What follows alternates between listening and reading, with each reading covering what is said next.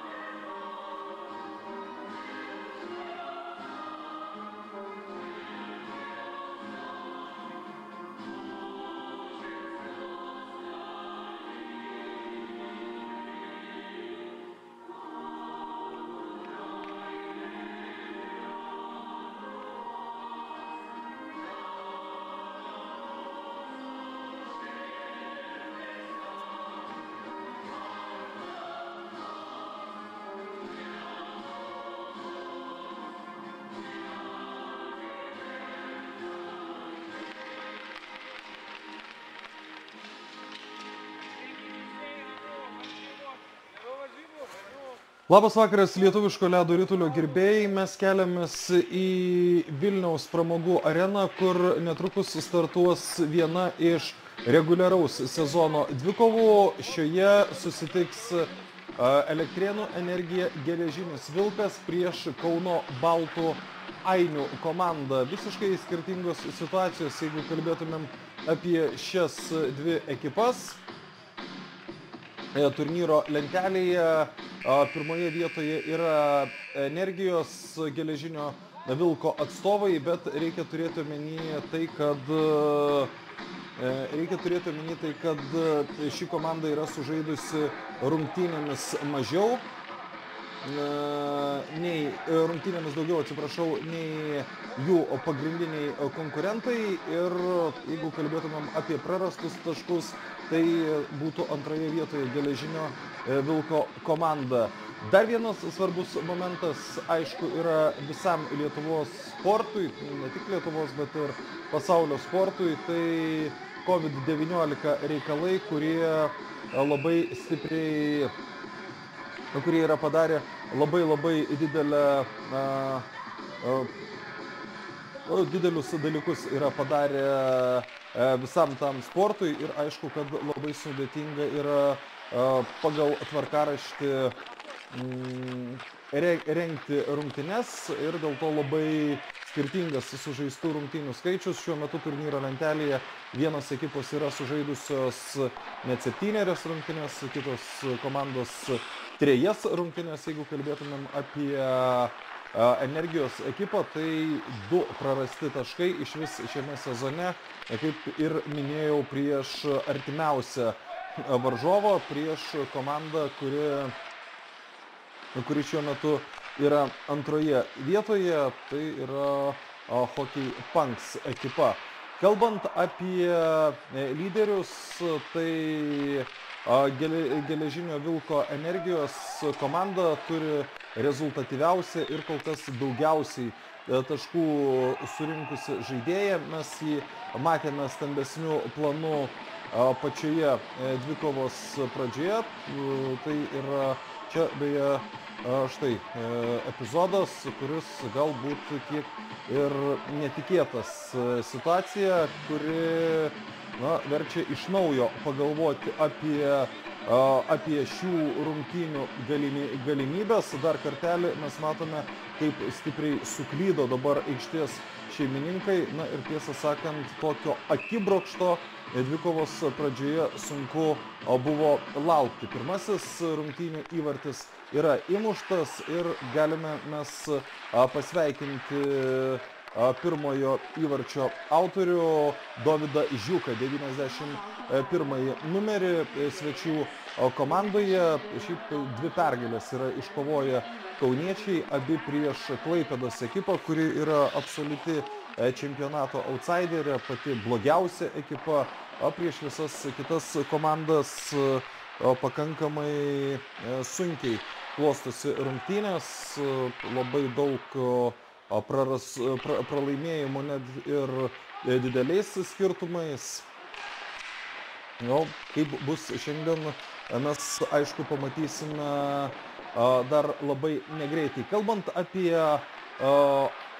Baltų Ainių ekipą, tai labai stipriai reiktų atskirti šios komandos pirmąjį penketą ir tuos žaidėjus, kurie kyla nuo atsarginių suolo, šiaip legionieriai iš artimojo užsienio atstovauja Baltų Ainių komandai ir didžiąją dalį žaidimo būtent jie ir didžiąją dalimi jie ir daro žaidimą savo komandai sėkmingą. Kalbant apie energijos ekipą, tai čia negali sakyti, kad pirmas ar antras ar ar pirmas ar antras penketai yra stipresni, bet aišku, kad reikia paminėti tą žaidėją, kurį mums rodė transliacijos pradžioje, Donatą Kumeliauską. Jis yra per šešerias rungtynes, skaitant ir šio vakaro dvikovą, pelnęs aštuonis įvarčius, atlikęs septynis rezultatyvius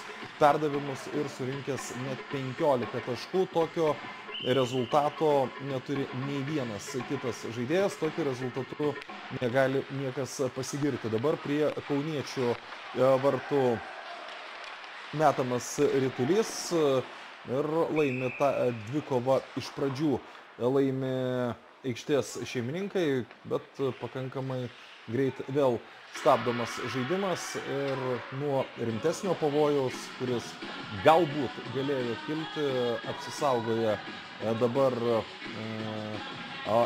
Baltų Ainių ekipa. Jeigu taip bus, kad čia štai panašu, kad ir pirmasis pašalinimas šio vakaro rungtynėse, ar vis tik taip, pirmasis pašalinimas daugumoje dabar žaidžia aikštės šeimininkai. Aišku, kad tai yra milžiniškas pranašumas. Lukas Eimontas yra tas žaidėjas, kuris dėl netaisyklingo veiksmo, kuris dėl netaisyklingo veiksmo turi dvi minutės leisti ant nubaustųjų suolo. Na, o netrukus rytulys bus gražinamas į aikštę arčiau aikštės šeimininkų vartų. Per tas 25 sekundės, kurios prabėgo e, daugumoje e, energijos komandai, tai per tas 25 sekundės nepavyko nuveikti absoliučiai nieko, kas būtų bent truputėlį uh, bent truputėlį arčiau e, išlyginamojo įvarčio. Ir tas bėgantis laikas, tos bėgančios sekundės šiuo atveju geriau yra svečių komandai. Įvarčių dar vienas pavojingas metimas, na ir pagaliau e, ima į rankas e, Kauno komandos vartininkas, pirmasis numeris Lukas Jekšys. Jis atstovauja savo komandai, jis yra pagrindinis vartininkas šiandien ir jis išgelbėjo savo ekipą nuo išlyginamojo įvarčio. Vis dar rezultatas 1-0, vis dar daugumoje žaidžia energija geležinis vilkas. Na ir dabar aišku, kad prasideda jau spaudimas savotiškas prie varžovų vartų, nu, žaidžiant 5 prieš 4, kitoks scenarius yra neįmanomas. Minėjau, kad Eimantas už netaisyklingą žaidimą buvo pašalintas dviem minutėm iš aikštės, bet pakankamai greit turėtų jis į tą aikštę sugrįžti. Labai stipriai artėja tas bausmės laikas į pabaigą. Na ir toliau su, ką, su Hituliu energijos geležinio Vilko komanda. Na, už praėjusią sezoną energija, po už praėjusią sezoną energija nusprendė, kad atsisveikins su lietuviškųjų ledo rituliu, o prieš šį sezoną e, stipresnė dalis prisijungė prie geležinio vilko, prie tos komandos, kuri yra senbuvę e, aukščiausioje ledo, Lietuvos ledo ritulio lygoje, savo ruoštų ta silpnesnė grandis, ji prisijungė prie Klaipados ekipos. Klaipados ekipa turi a, du laimėjimus, aš jau minėjau šį faktą, dabar galiu tik pakartoti.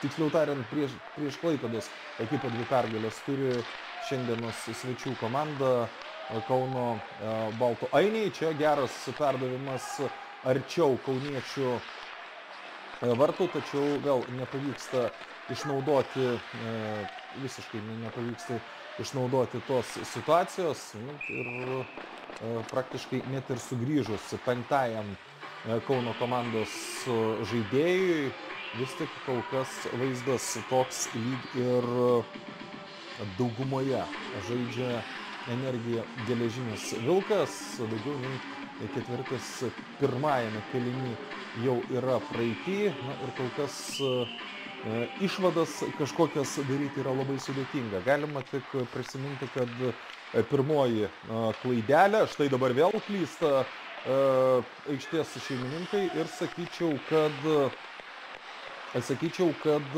tai yra savotiškas neįvertinimas varžovų, ta rungtynių pradžia, ta pirmoji minutė, kiek užmygė į aikštę išėjo Vilniaus komandos atstovai, praleido greitą įvartį, vėliau turėjo dvi minutės galimybę žaisti daugumoje, bet, bet iš to nieko doro išpešti nepavyko. Na ir dabar matome, kad ir prie aikštės šeimininkų vartų rezgamos atakos, vėl pirmųjų penketų aikštėje žaidžia Baltų Ainių komanda. Na, jeigu sugebėtų bent tašką iškovoti Baltų Ainiai, nepriklausomai nuo to, kad jie yra priekyje šiuo metu, vis tik tai būtų pakankamai didelė sensacija, nes reikia a, turėti meni, kad a, lygoje vis tik yra tos dvi gerokai stipresnės komandos, tai o, Hockey Punks ir, e, energy, e, ir Energija geležinis vilkas. Mm, tarpusavio rungtynėse, kurios baigėsi po baudinius, e, kurios baigėsi jau per pridėtinį laiką, e, iškovojo pergalę kokį panksai, ten buvo labai labai įdomios rungtynės tuo, kad panksai priekė buvo rezultatu 3-1, vėliau 4-3 jau pirmavo energijos komanda, kad trečiajame keliniui pavyko išlyginti rezultatą, na ir po to pergalę galiausiai šventė e, Panks ekipa. Beveik septynios minutės jau prabėgo nuo pirmojo e, rungtynių kėlinio pradžios. Galima sakyti, kad gana greit bėga dvikovos laikas. Tų stabdymų nėra labai labai daug. Kaip tik ant žodžių teks grąžinti ritulį ginčio kamulio, čia arčiau e, baltų ainių vartų, būtent baltų ainių aikštės pusėje bus metamas ritulys ir laimė tą dvikovą vėl aikštės šeimininkai. Kol kas e, didelio spurto jie prie varžovų vartų nerengia, natūralu tai yra, kažkur lėkti, skubėti, pirmajame keliny nėra jokios prasmės, tačiau jeigu, tarkim, trečiajame keliny sužaidus tiek laiko vis dar pirmautų svečių komanda, nekiek nebejoju, kad mes matytumėm kardinaliai kitokį žaidimą, dabar vėl kontrataka galimybė ir tokios klaidos yra pasikartojančios. Jeigu pirmuoju atveju, kai buvo įmuštas įvartis, buvo galima kalbėti apie kažkokį nesusikaupimą dvikovos pradžioje, jeigu buvo galima kalbėti apie pramiegojimą, tai dabar sužaidus daugiau nei trečdalį pirmajame rungtynių kelinyje, štai tokie, o tokie šansai, e, kad e, tokie šansai, kokius, kokius susikūrė savo baltų ainių komanda, iš tikrųjų yra neatleistini. Na, čia metimas iš pakankamai toli, nepavyksta išlyginti rezultatą.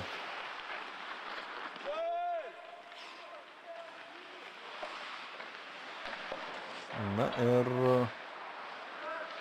toliau. Rungtynės Lietuvos ledo rytulio čempionato rungtynėse. Energijai geležinis vilkas 0-1 atsilieka nuo Kauno Baltų Ainio ekipos, nepavyksta netgi rimčiau pasipriešinti varžovams, turiuomenį ne, ne, ne patį žaidimą, o kuriamas progas. Pagal pavojingus epizodus, sakyčiau, kad kauniečiai yra netgi priekyje tos kontratakos, kokias jas jie surengė, net ir dabar sužaidus beveik 9 minutės, dar vienas pakankamai rimtas pavojus ir pažiūrėkit, žaidimas a, vyksta arba e, kauniečių aikštės pusėje, bet be rimto pavojaus, arba retais atvejais pereina greit į Vilniaus komandos pusę Baltų Ainiai ir tada jau pakankamai rimtas pavojus kyla bei galimybė bei galimybė dvigubinti skirtumą. Čia vėl neblogas perdavimas, kiek nedaug trūko, kad būtų rytulys pasiekęs o, labai neblogai. Tuo metu atrodė labai neblogai atsidengusi Nikita Svarsieva, bet pastarasis tiesiog nesiekė rytulio ir dėl to su pavojumi, tik dėl to su pavojumi geležinis vilkas susitvarkė. Ja, mano ką tik paminėtas žaidėjas Nikita Svarsievas, vienas iš tų legionierių, aš minėjau kiek anksčiau, kad iš Latvijos ir Rusijos yra atvykusių žaidėjų į Kauno komandą, būtent tais legionieriais pasistiprino. Nu, aišku, kad be jų ši Kauno komanda būtų dar gerokai silpnesnė ir kad būtent tie pirmojo penketo žaidėjai daro labai rimtą pagadą, taip liaudiškai tariant, savo komandos žaidimui. Šiek tiek greitėja pats žaidimas per pastarąsias minutės ir aišku, kad tą greitesnį žaidimą stebėti yra žymiai smagiau. Čia netikslus perdavimas susitvarko vėl energija geležinis vilkas su varžovų ataka kitoje aikštės pusėje kitoje aikštės pusėje sukurti pavojingesnę situaciją yra žymiai sudėtingiau.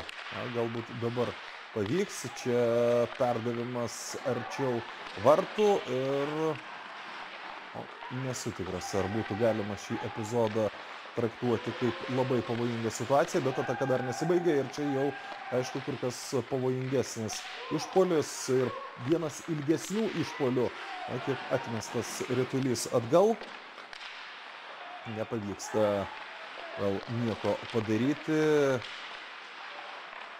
bet vat, kažko panašaus iš energijos komandos, iš geležinio vilko komandos, tai tikėjausi dar anksčiau, prireikė pusę kėlinio, kad atsibustų šių rungtynių favoritai ir pradėtų žaisti tai, kaip iš jų laukiama. Ekranuose vartininkas Lukas Jekšys, kol kas absoliučiai tvarkingai visose situacijose besitvarkantis ir visas situacijas įsprendžiantis savo naudai, savo komandos naudai Lukas. O, aišku, teisybės dėliai ir tų itin pavojingų situacijų prie jo vartų tikrai nebuvo bent jau kol kas labai daug. Čia metimas iš tolimesnės distancijos, nepavyksta su tuo metimu.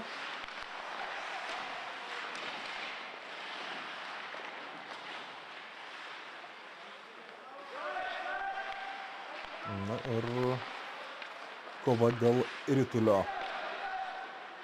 Aktyvi e, kova, tokių aktyvesnių e, veiksmų irgi kažkaip lyg ir norėtųsi e, daugiau šiuose rungtynėse. Nu, faktas, kad dar iki dvikovos pabaigos labai labai daug laiko ir faktas, kad nu, visko mes per tą likusį laiką dar išvysime. Įvarčio autorius Žiūkas ką tik buvo su rytuliu, dabar nepavyko išsaugoti jo komandos draugams, sužaidus lygiai vieną minutę.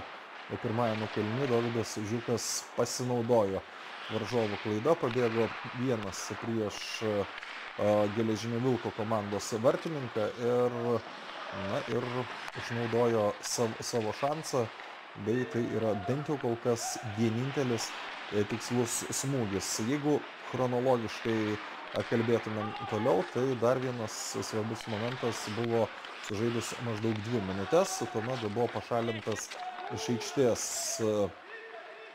Kauno komandos 99 numeris Lukas Eimontas, bet per tas dvi minutės, kai turėjo kiekybinę žaidėjų persvarą aikštės šeimininkų komanda, ji iš esmės nenuveikė absoliučiai nieko. Na ir čia dabar laikas nenumaldomai, bent jau pirmojo kėlinio laikas nenumaldomai artėja į pabaigą, du trečdaliai pirmojo kėlinio jau yra praeitį. Na ir čia galbūt dabar ne, nepavyks ir dabar nieko pavojingesnio sukurti aikštės šeimininkams. Kontrataka, kurioje dalyvauja svečių komanda, pakankamai rimtas pavojus dvigubinti skirtumą. Šįsik nepavyksta pasinaudoti galimybę Makarui Toka, Toka, Tokarevui. Nu, pakankamai, pakankamai rimta buvo dabar vienas prieš vartininką buvo atsidūręs e, baltų ainių legionierius, bet, bet ir vėl iš to pavojaus nieko nėra. Dar kartelį klysta aikštės šeimininkai ir čia vėl labai rimtas išpolis, dar vienas metimas. Na ir tokių progų, kokias kuria šiuose rungtynėse Kauno komanda, o, tikrai aikštės šeimininkai nebuvo sukūrę tiek daug. Net, net iš esmės lyginti negalima tų skaičių,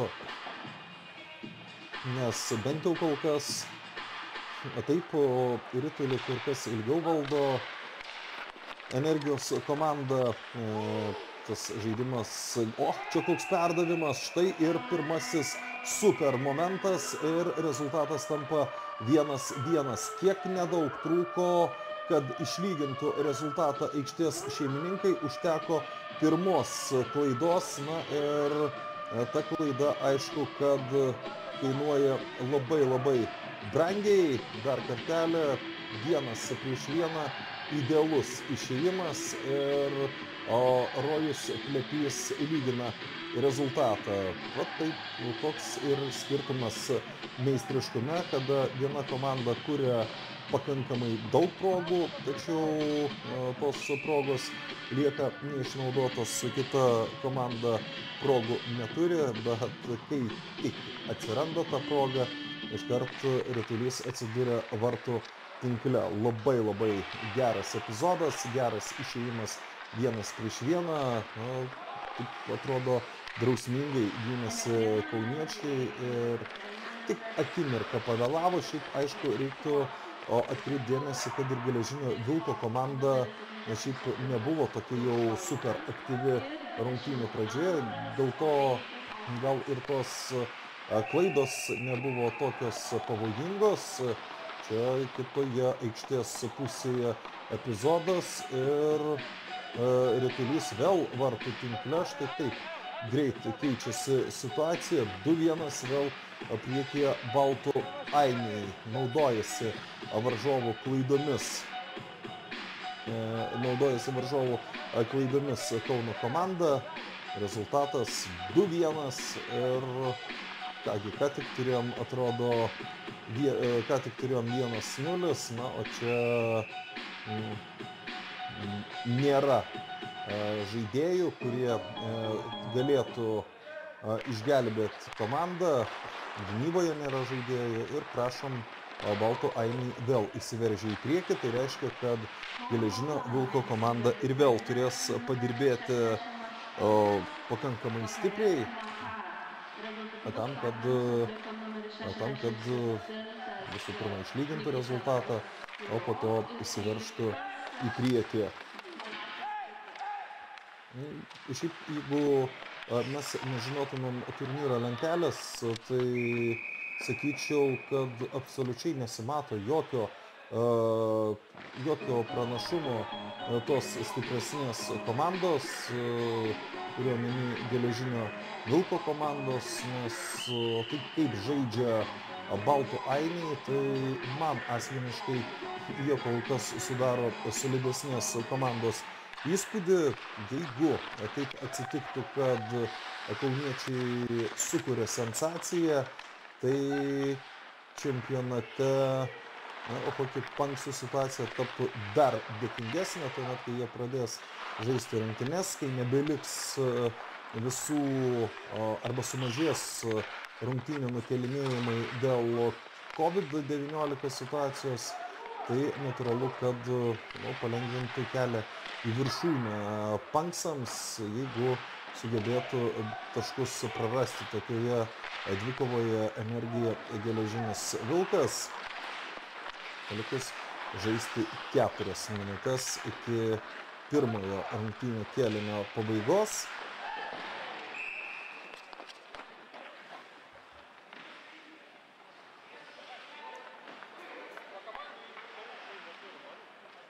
Dabar matome savo ekranuose aikštės šeimininkų žaidėjus.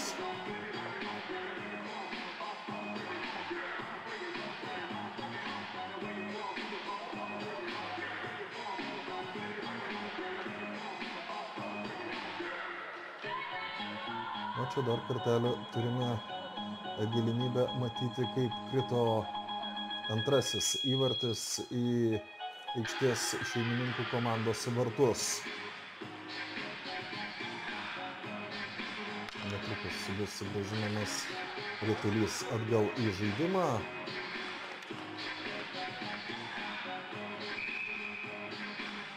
Taip, Markas Tokarevas pelnė antrąjį įvartį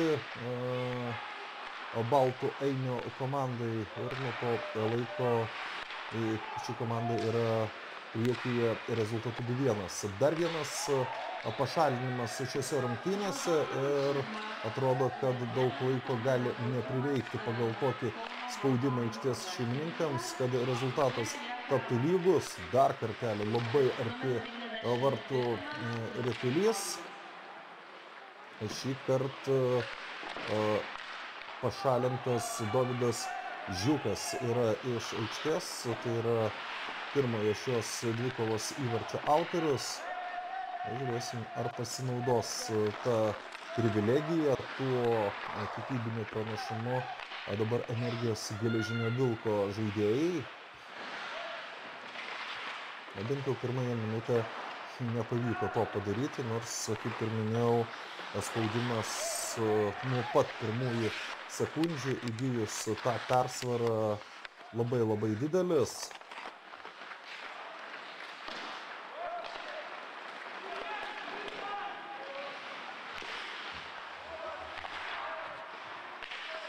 Ir čia tik atsimušinėja keturiese esantis Kauno komandos atstovai. Taip, per pirmas maždaug 10-15 sekundžių tuomet, kai buvo pašalintas Baltų Ainio atstovas, per tas 15, per 10-15 sekundžių buvo net du pakankamai rimti epizodai prie e, svečių komandos vartų, bet per likusį laiką sakyčiau, kad to rimtesnio pavojaus kaip ir nebėra.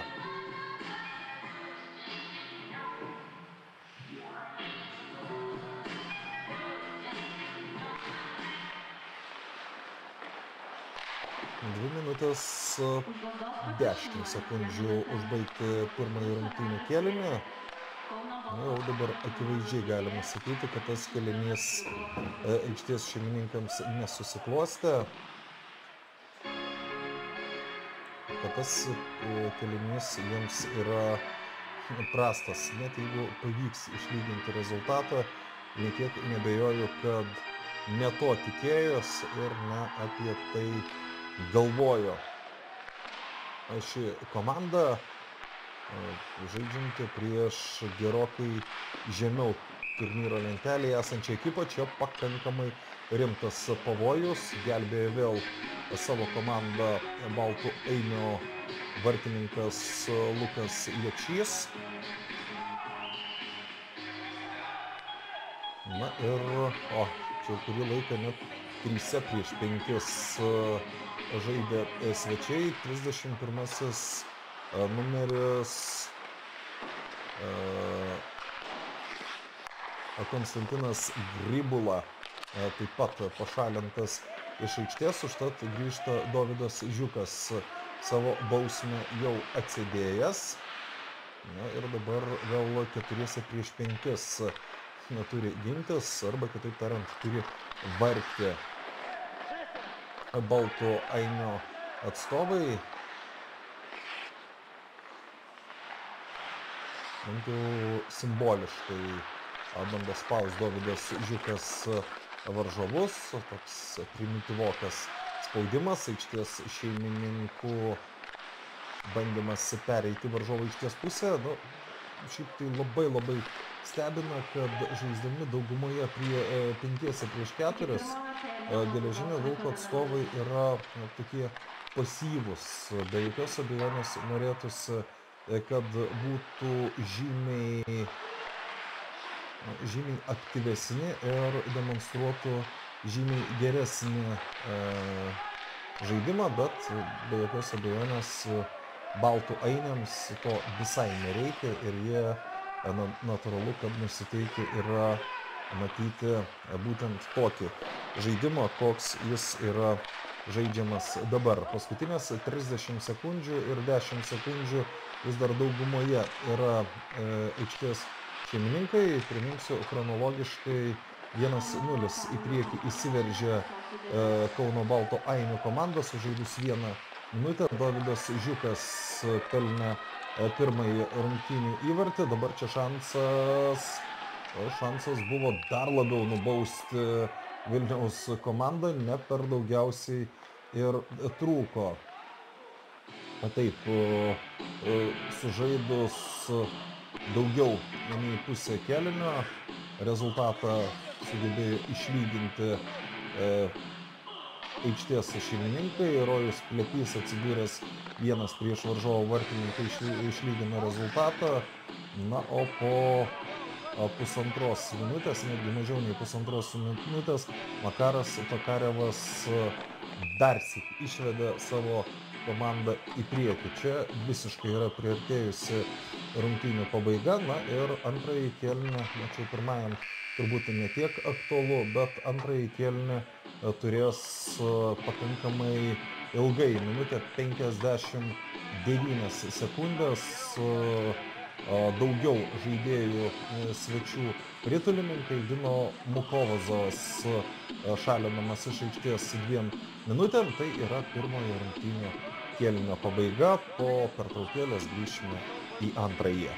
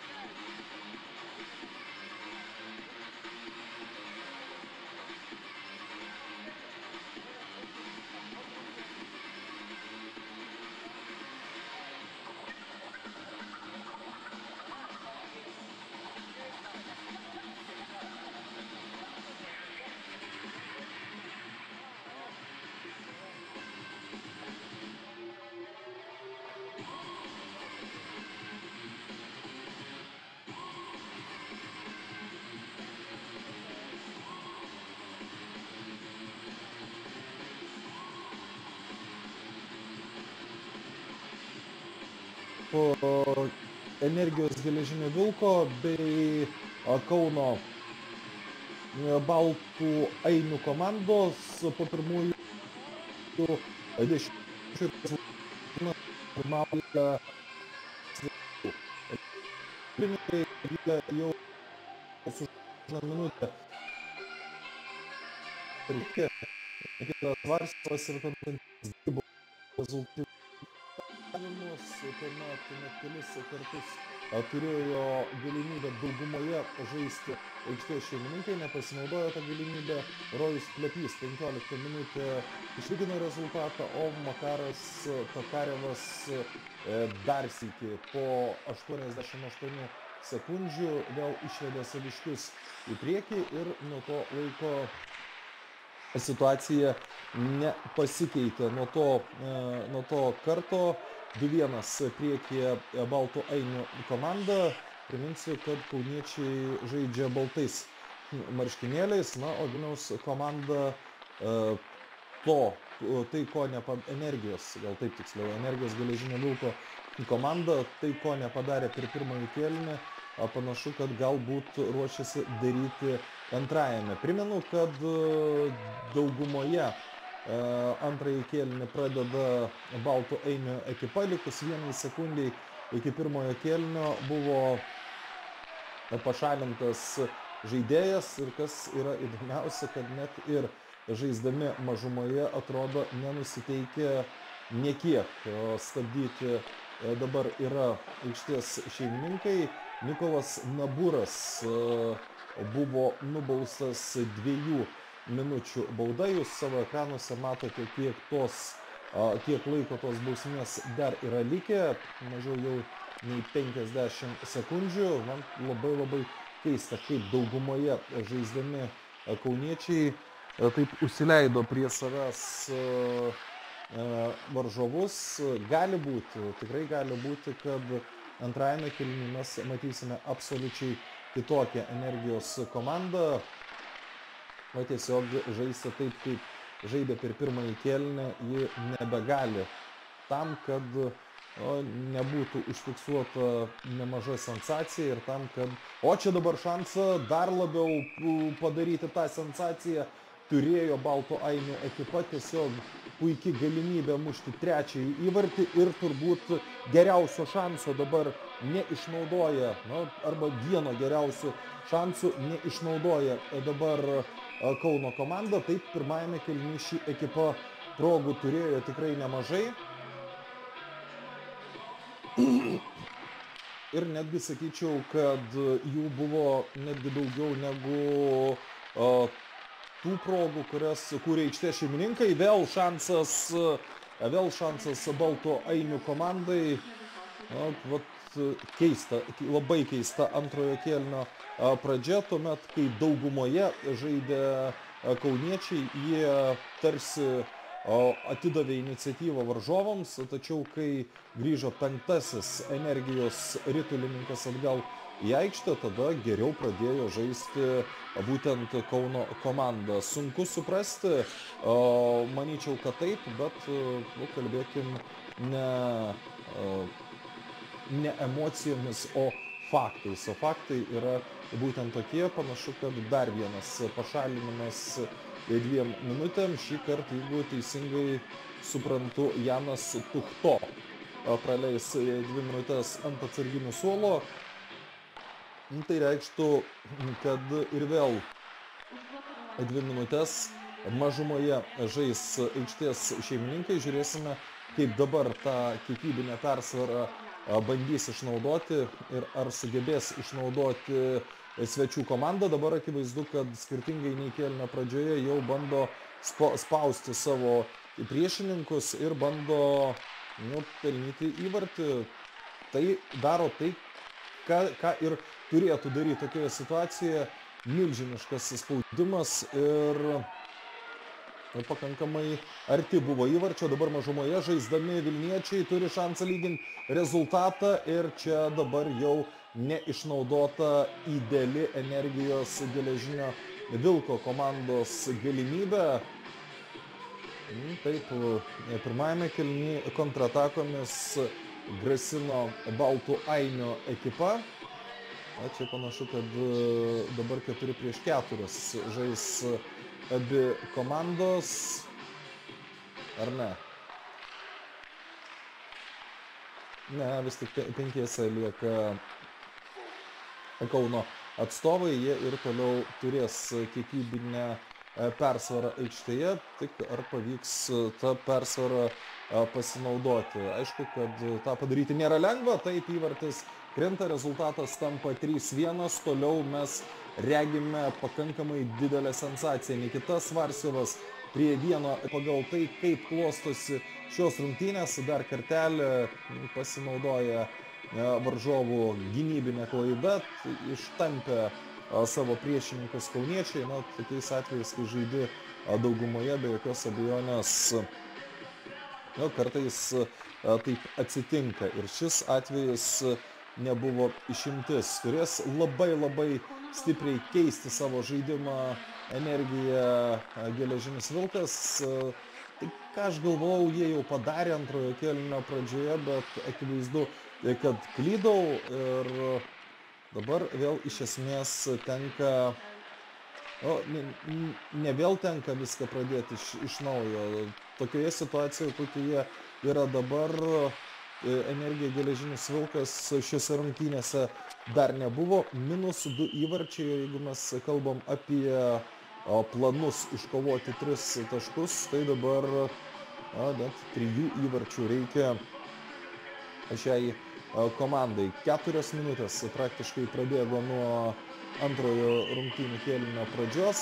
Tikrai permainingas e, tas antrasis kėlinys, permaininga pradžia. Dar kartą pasikartosiu, kad mažumoje buvę geležinio vilko atstovai antrąjį buvo pašalintas iš aikštės geležinio vilko ritulininkas, na, tuomet tiesiog subombardavo e, varžovus aikštės šeimininkai, atsiprašau, svečių ritulininkai, rezultatas tapo 3-1, galimybė dabar dar labiau didinti skirtumą ir vienas prieš vieną pabėga ir dar kartelį baudžia varžovų komanda Kauno Baltų Ainio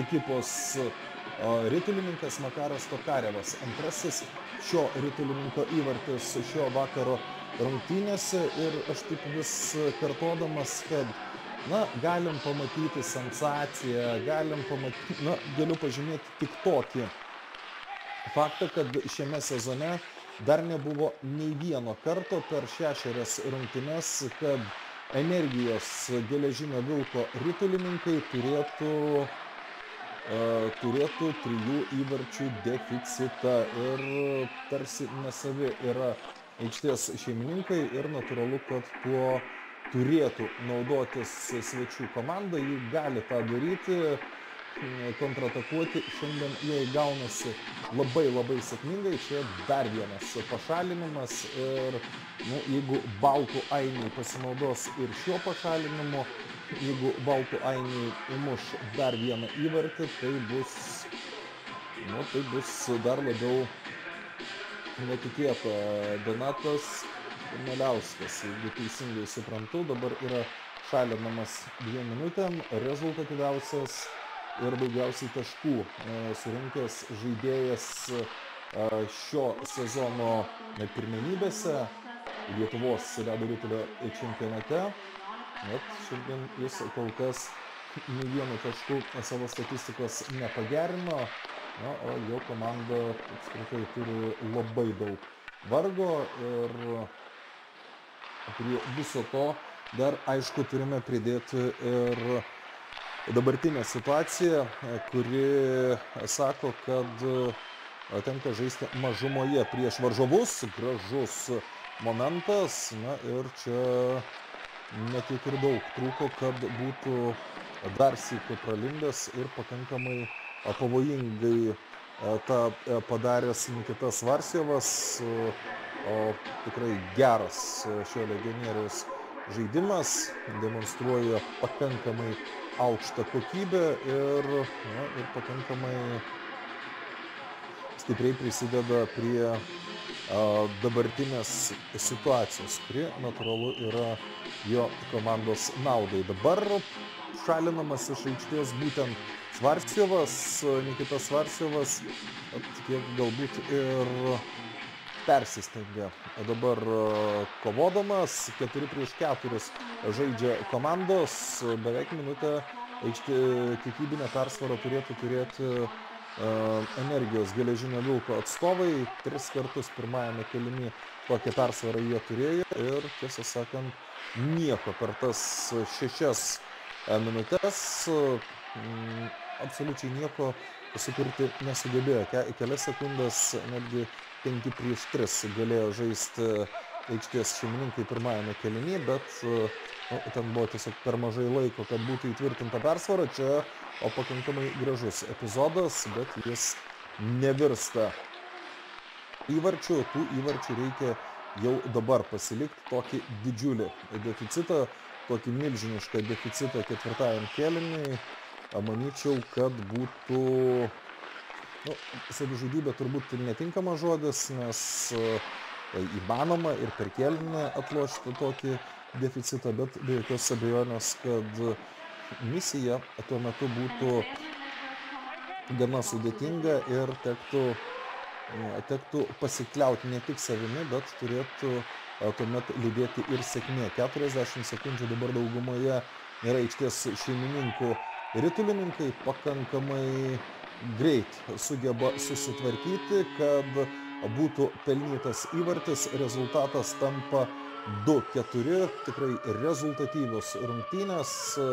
Donatas Kumeliauskas, ką tik grįžęs nuo nubaustųjų suolo, man atrodo, kad būtent jis ir buvo to įvarčio autorius. Na, pažiūrėkime dar kartelį.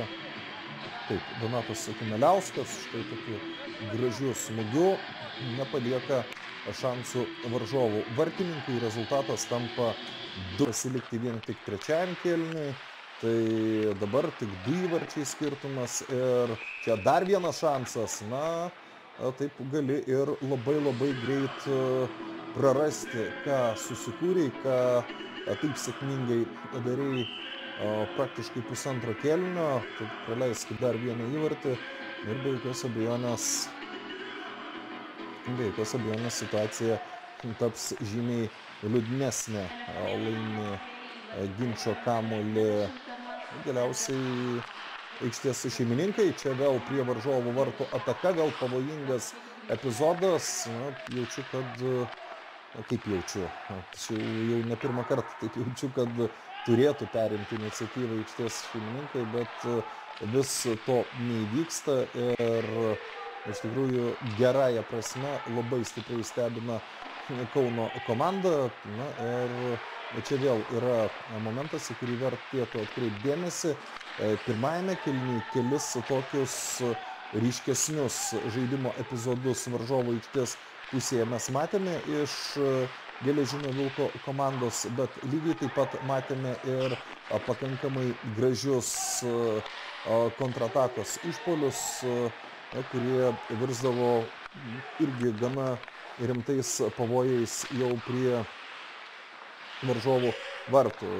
Nu, vis tik bent jau kol kas oficialioje statistikoje ne Donatui Kumeliauskui, o Edgarui Ribakovui buvo įrašytas įvartis. O tai ta oficialia statistika ir o, naudo, e, tikėkime tą oficialią statistiką, kad būtent Edgaras Ribakovas e, yra antrojo įvarčio autorius. Daugumoje žaisdami aikštės šeimininkai sugebėjo sušvelninti atsilikimą, žaisti ar ne. Taip, keturiese prieš penkis turės žaisti Baltų Ainio komanda ir dar rytulys bus grąžinamas prie jų pačių vartų. Viena uh, kiekybinę persvarą, vieną dviejų minučių kiekybinę persvarą sugebėjo šauniai išnaudoti Edgaras Rybakovas. Čia ir vėl aikštės šeimininkų ataka. Nekiek nebejoju, kad dvi minutės tokį spaudimą mes ir matysime. Čia pavojus prie, pavojus prie svečių komandos vartų. Nepavyksta to pavojaus paversti įvarčiu. Bet vien tas faktas, kad tiek tiek daug ritulininkų buvo. Čia vėl pavojingas epizodas ir dar geresnis šansas mušti trečiąjį komandos įvartį. Reikia naudotis su tokiamis progomis. Jeigu nepavyks, po to gali būti tiesiog per vėlų Damiras Šafajevas, Šafėjevas yra nusiųstas ant atsarginių suolo, ant baudos suolo. Ten jis leidžia tas dvi minutės na o čia dar vienas išnaudotas šansas trys keturi labai labai greit viską sprendžia būdami daugumoje aikštės šeimininkai.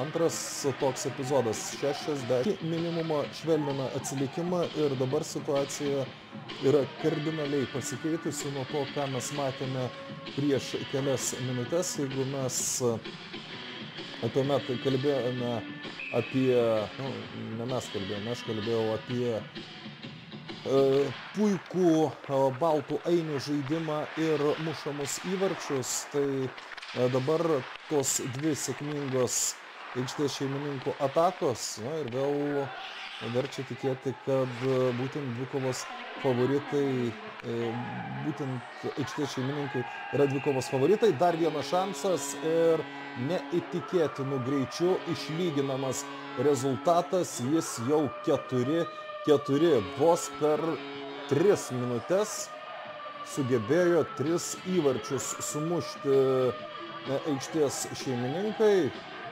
Na ir na, Vilko komandos ritulininkui Edvinui Boroškai varžovai. Na ir nu, kažkiek gali neišnaudoti galimybių, kažkiek jų gali E, kažkuriais atvejais jų, jos gali būti mm, ga, ga, kažkuriais atvejais gali nepasisekti, bet, bet antrajame kelinyje, ypač įpusėjus tam antrajam keliniui, viską išnaudoja energiją geležinis vilkas ir per labai labai trumpą laiką trys įmušti įvarčiai kardinaliai pakeitė visą situaciją. Na ir šiaip toliau rungtynės yra nesvietiško rezultatyvumo. Jeigu pirmasis kėlinys baigėsi 2-1, buvo įmušti 3 įvarčiai, tai per antrojo kėlinio pusę dar buvo pridėti net 5 tikslus smūgiai ir rezultatas nuo to laiko tapo lygus 4-4. Mes labai seniai nematėme baltų ainių komandos prie varžovų vartų, apskritai varžovų aikštės pusėje tie apsilankimai būna labai labai reti. Čia dar vienas išėjimas į ataką. Man labai keista, kodėl taip sustojo Kauno komanda. Viską darė labai gerai. Mininkų komanda, jo, tai ir buvo pagrindinis momentas, kuris lėmė tokį didelį pasikeitimą šiose rungtynėse. Dabar galimybė ir Kauno ekipai mušti įvartį. Čia, sakyčiau, kol kas naudingiausias svečių ritulininkas Nikita Svarjevas nepasinaudoja šansų dar sėk išvesti savo ekipos į priekį, bet čia mes matėme jau tokio lygio klaidą iš energijos geležinio vilko pusės, kokias mes matydavom kokias mes matydavom ir pirmajame kėlinyje, tuomet, kai labai solidžiai atrodė e, Kauno e, komanda. Jau antra e, kėlinio pusė. Laikas antrajame kėlinyje galbūt truputėlį lėčiau bėga nei pirmajame. Antrasis kėlinys skirtingai nei pirmasis turi stabdymų daugiau. Na tai aišku, visų pirma, susiję tiek su šalinimais iš aikštės, tiek įvarčiais, kurių yra labai labai daug. Na ir kartais va, tiesiog taip yra sustabdytos rungtynės bei ginčio rituliu vėl jos tęsiamos, bet laiko natūralu, kad šiek tiek praeina. Iš kitos pusės pats žaidimas yra pakankamai greitas ir, na, ir tas aišku, kad turėtų, kad tai turėtų patikti publikai, tai turėtų patikti žiūrovams, kurie stebi šias rungtynes. Kadangi patekti į arenas dabar yra neįmanoma, tai be jokios abejonės tos tiesioginės transliacijos yra savotiškas įsigelbėjimas mėgstantiems vieną ar kitą sporto šaką.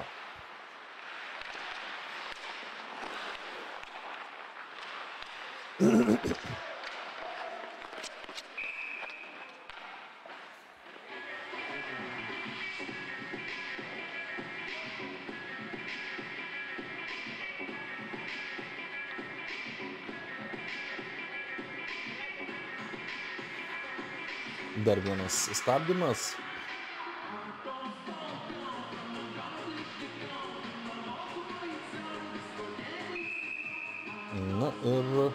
Dar vienas pašalinimas. Vėl daugumoji bus energijos komanda. Antrajame kelinyje tuos pašalinimus labai sėkmingai išnaudojo aikštės šeimininkai. Matas Čyvas dabar ant nubaustųjų suolo e, dviem minutėm. Bet ką, sakyčiau, kitaip daro kauniečiai, jie bando spausti varžovus jų pačių pusėje, būdami mažumoje, tai aišku yra labai rizikinga, nes va, praradus ritulį galimybė yra varžovams kurti staigę ataką ir turėti pakankamai perspektyvų šansą mušti įvartį. Kaip tik dabar su rituliu jau yra aikštės šeimininkų komanda na, ir vis e, arčiau ir arčiau varžovų vartų, vis daugiau ir daugiau bandymų rasti prieigą prie vartų ir atsidūrus vienam mušti įvartį, kuris leistų įsiveršti į priekį. Vieną minutę e, prabėgo tuomet, kai daugumoje yra geležinio vilko atstovai.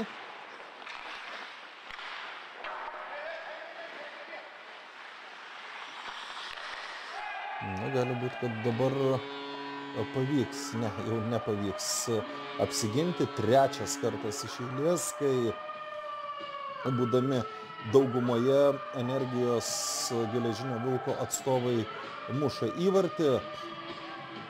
Na ir dabar maždaug šešių minučių atkarpą laimi rezultatu 4-0. Dar kartelį pakartosiu, kad nuo 1-4 sugebėjo grįžti į aikštę, e, sugebėjo grįžti ten ir prašom jums įvartis, kurio taip laukite. Edgaras Rybakovas antrąjį energijos įvartį šiose rungtynėse įmušė sužaidus septynias minutės antrajame kėlinyje. Dabar yra sužaistos 13 minučių, tai va, mažiau negu per šešias minutės krito tie keturi įvarčiai. Tikrai labai labai galingą spurtą sugebėjo sukurti energijos atstovai. Ir kas baisiausia, kalbant apie kauniečius, turbūt ne tas vieno įvarčio deficitas, kiek nu, visiškas sustojimas rungtynėse.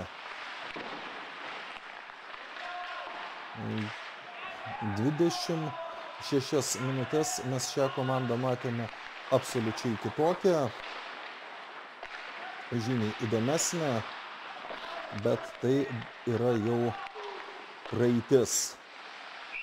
O čia metimas, Čyvo bandymas, tikrai nepavojingas metimas, nesukūręs jokio rimtesnio pavojaus. Dabar na, nors ir praleido daug įvarčių, tačiau kažkuo labai kaltinti blogų žaidimų jo tikrai negalėtume. Visų pirma, Visų pirma, prastą žaidimą gynyboje reiktų pažymėti kaip to mm, praleistų įvarčių rezultatą. Jau mažiau nei penkios minutės iki antrojo rungtynių kelnio pabaigos. Per antrąjį kelnį jau šeši tikslus smūgiai buvo atlikti. Dar kartelį pakartosiu tiems, kurie galbūt tik dabar prisijungė prie mūsų, kad 4-1 priekyje buvo Baltų Ainių komanda, tačiau per šešias minutės situacija taip kardinaliai pasikeitė, kad energija įsiveržė į priekį. Pakartosiu ir tai, kad net tris iš tų keturių įvarčių aikštės šeimininkai sugebėjo pelnyti turėdami kiekybinį pranašumą aikštėje. Šiaip pašalinimų tikrai netrūksta šio vakaro rungtynėse tiek vienos, tiek kitos komandos žaidėjai neretai laiką leidžia ant, atsa, ne, ne, ne ant atsarginio, o ant baudos suolo. Čia dar vienas įvartis. Na, absoliučiai sugriuvo e Kauno komanda. Na ir tuo labai užtikrintai naudojas energiją geležinis vilkas. Šį kartą net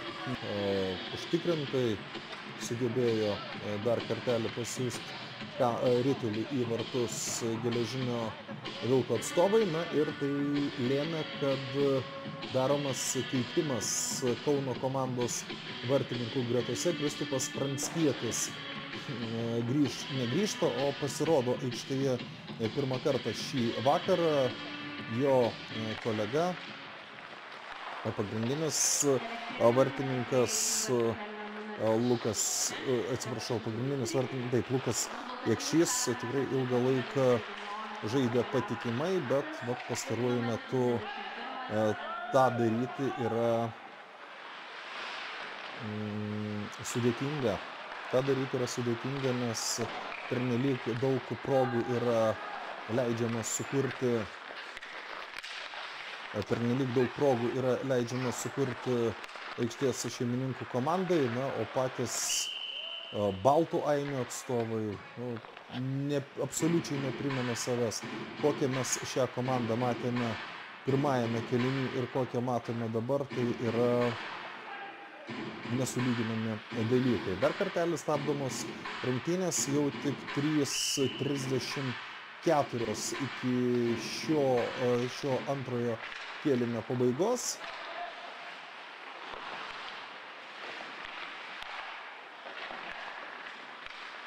Na ir mano asmeninė nuomonė, tai Kauno komandai ta pabaiga yra, ta pabaiga gali būti įsigelbėjimas. Prieš trečiąjį kėlinį gal pavyks dar permastyti tai, ką darė blogai per visą tą antrąjį kėlinį, nes tai kaip žaidžia dabar ši komanda, faktas, kad nepretenduoja, absoliučiai nepretenduoja nei vieną tašką. Mažiau nei 3 minutės iki kelnio pabaigos. Manau, kad toks, va, toks žaidimo būdas, kurį dabar propaguoja aikštės šeimininkai, jiems yra pats parankiausias siekiant, siekiant pergalės. Taip, turbūt kito tikslo nėra ir būti negali. Na ir čia prie savo, prie savųjų vartų, kurį laiką leidžia kauniečiai, nu, jaučiasi, kad tikrai stengiasi kuo greičiau užbaigti antrąjį kėlinį, galbūt tas 4-6 dabartinėmis sąlygomis ir net nėra pats blogiausias dalykas. Nu, jeigu pavyktų dar mušti bent vieną įvartį, jeigu pavyktų dar priartėti iki minimumo, tai natūralu, kad tas trečiasis kėlinys vėlgi galėtų tapti mums nu, pakankamai įdomus.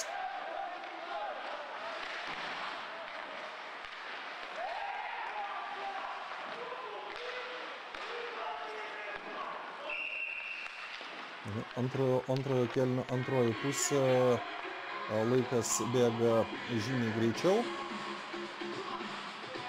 Čia dar sykį toks galingas epizodas, panašu, kad bus paš, pašalinimas.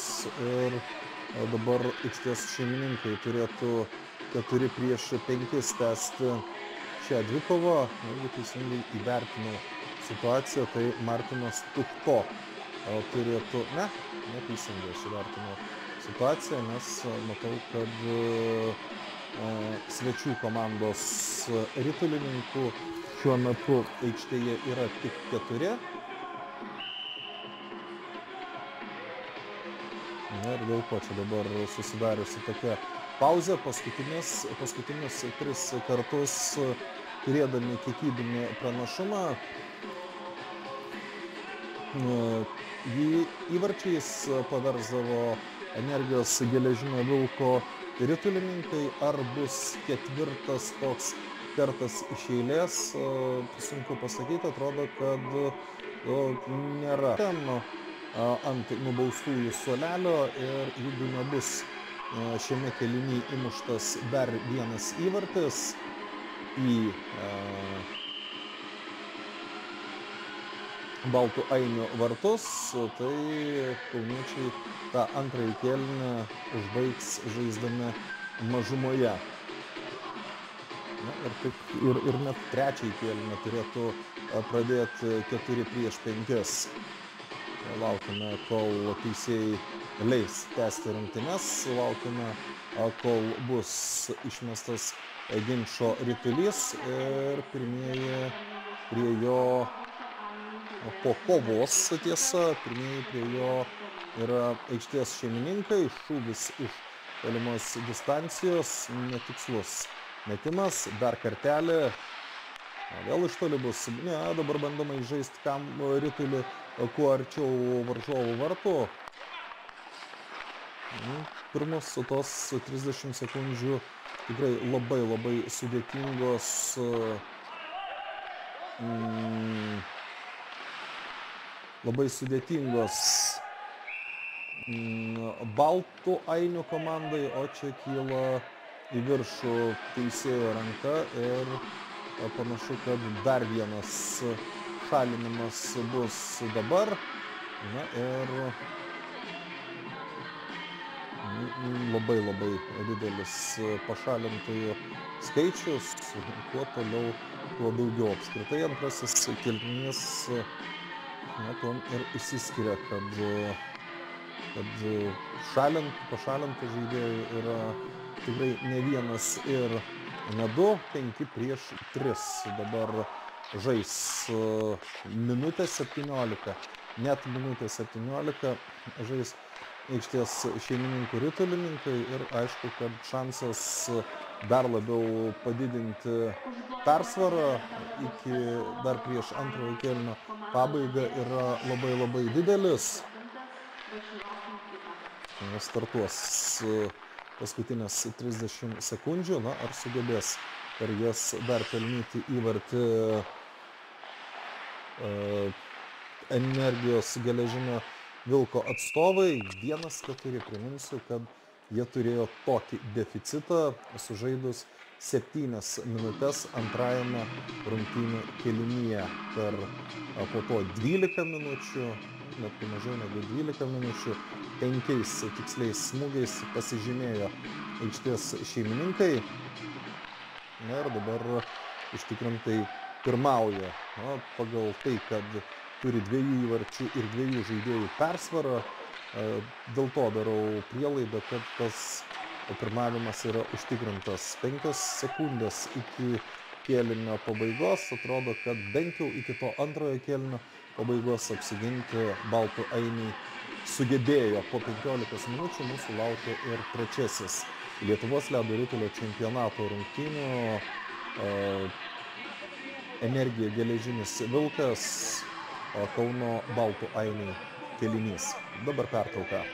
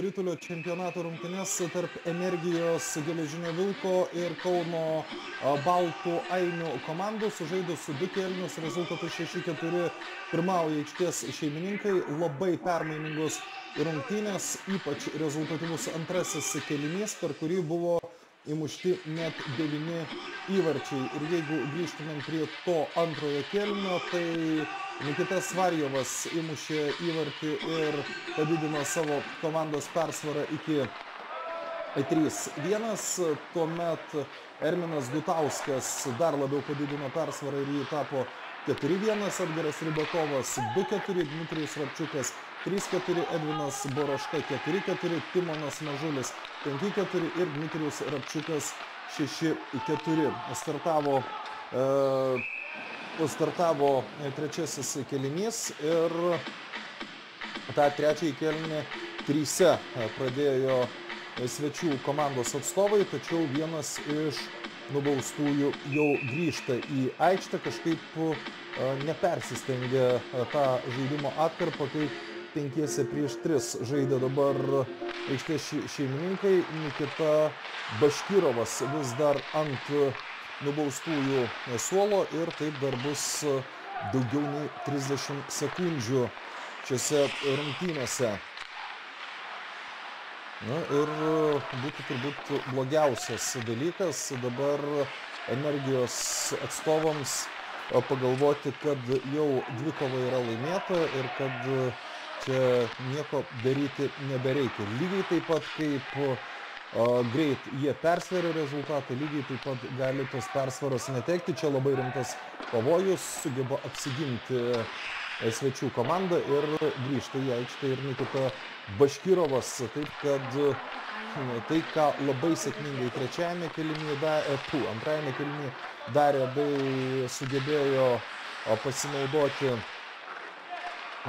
varžovų bausmėmis, bei žaidė daugumoje tris įvarčius dar kartą pakartosiu sugebėjo įmušti e, žaisdami 5 prieš 4 energijos atstovai. Tai vad dabar e, to paties padaryti jiems nepavyko. Ir e, trečiasis kelinys nu, prasideda pakankamai greitai, vėl stabdymų mažai ir pakankamai greit bėga laikas. Jeigu sugebėtų štai ir sugeba įmušti įvartį Baltų Ainių komanda, vos pradėjau sakinį apie tai, kad jeigu sugebėtų įmušti šį komandą, tai turėtų būti labai labai įdomus šios dvikovos tesinys. Na ir geriausias šių rungtynių žaidėjas svečių komandoje, 16 numeris dovanos tiek daug įvarčių, kiek mes jų matėme antrajame dvikovos kelinyje. Na čia, sakyčiau, pakankamai apmaudi situacija buvo aikštės šeimininkų komandai, taip prasileisti ir taip leisti sugrįžti varžovams yra neatleistina.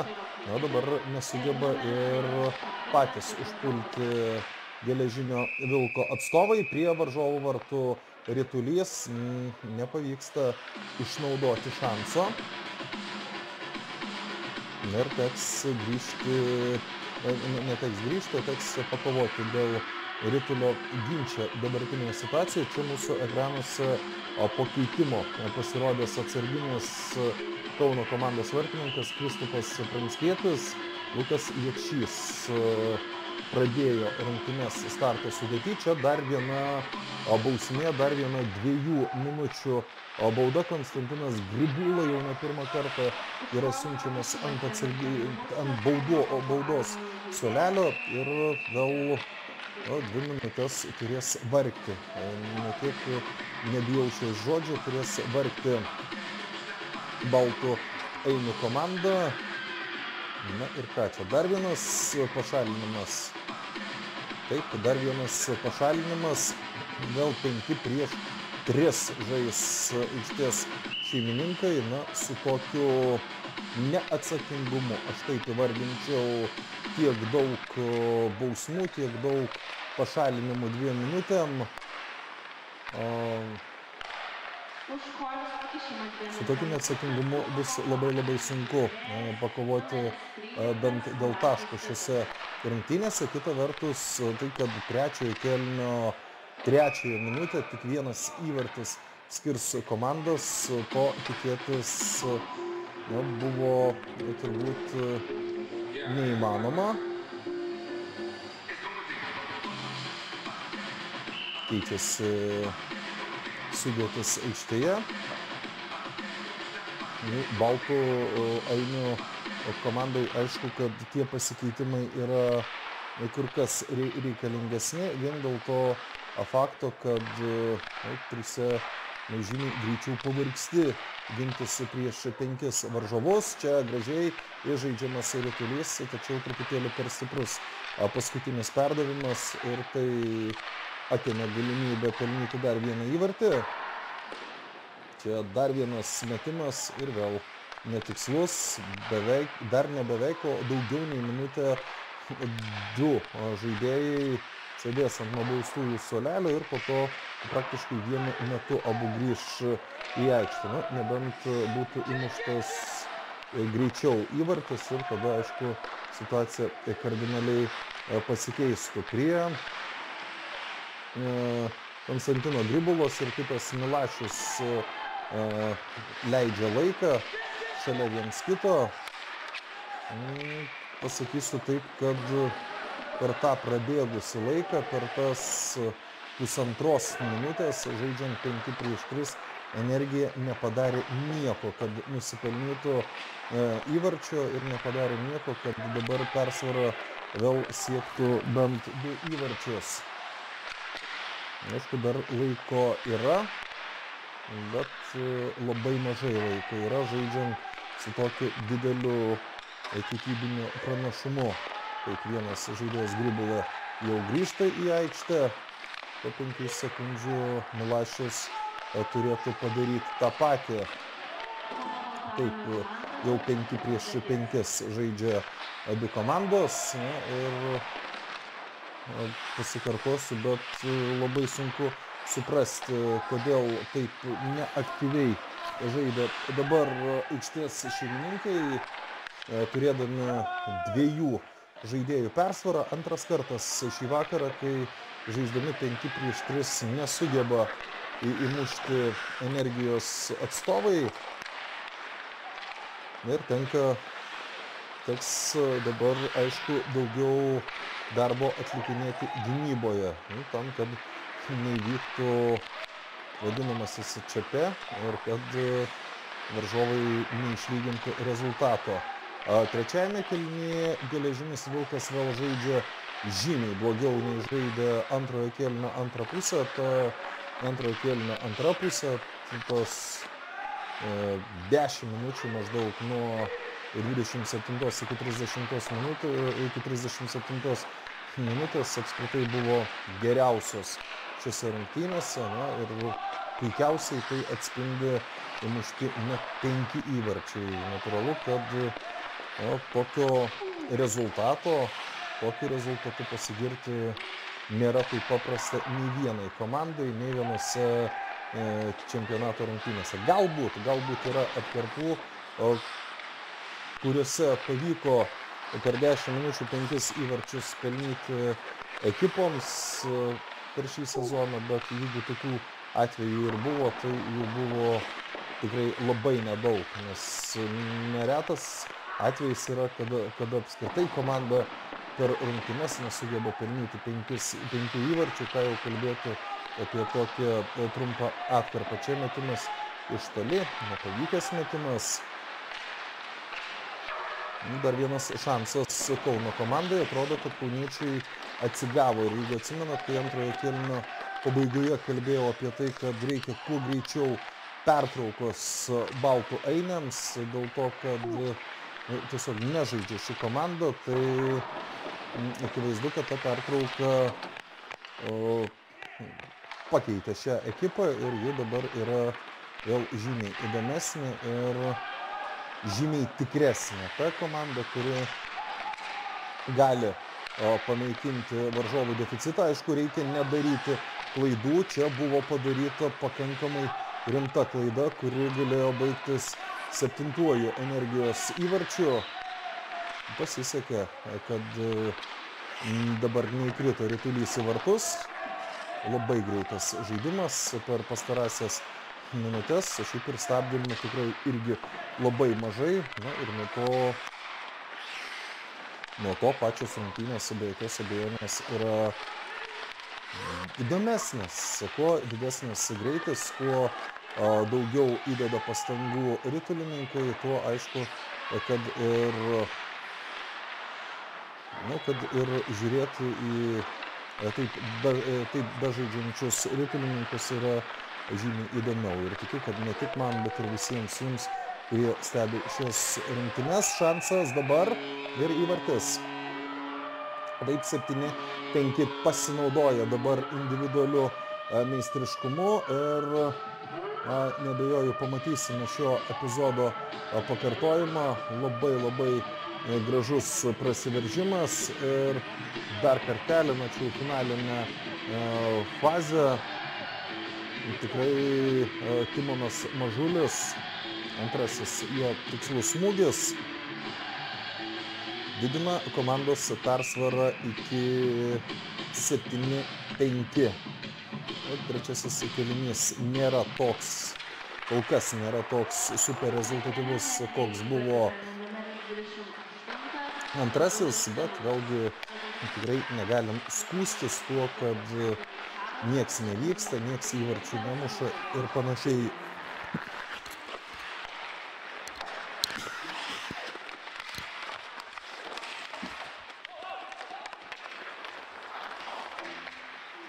beje, trečiasis kėlinys jau praktiškai ir įpusėjo. Labai labai greit bėga laikas, kad per 12 realių gyvenimo minučių mes pamatėme beveik 9 žaidimo minutės. Tikrai nedažnai pamatysiu taip greit skriejantį laiką, su kuo tai susiję netgi negalėčiau pasakyti. Nu, tiesiog galbūt su mažiau darom e, su mažesnių klaidų skaičiumi būtų galima tą paaiškinti, kažkokio kito tokio objektivaus e, paaiškinimo tikrai neturiu. Nu, čia dabar šansas ir kauniečiams neblogas prasiveržimas. Praktiškai per pusę aikštės individualus reidas nepavykęs. Tačiau kitoje aikštės pusėje rytulys ir kitos komandos vartininkas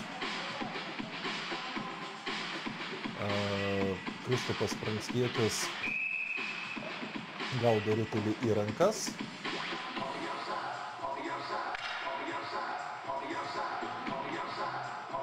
Ir čia prie baltų ainių vartų bus gražinamas rytulys į aikštę, gin- ginčas.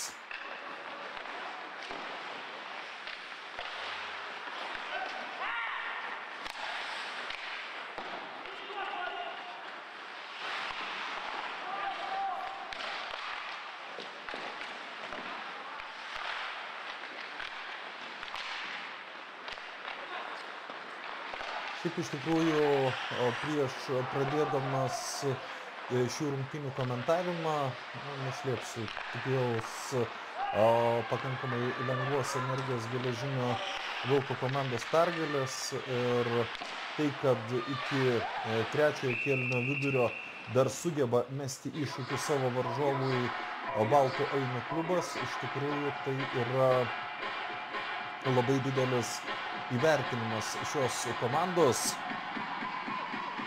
Iš tikrųjų, galima pagirti ją už pastangas ir apskritai už didelę rungtynių dalį.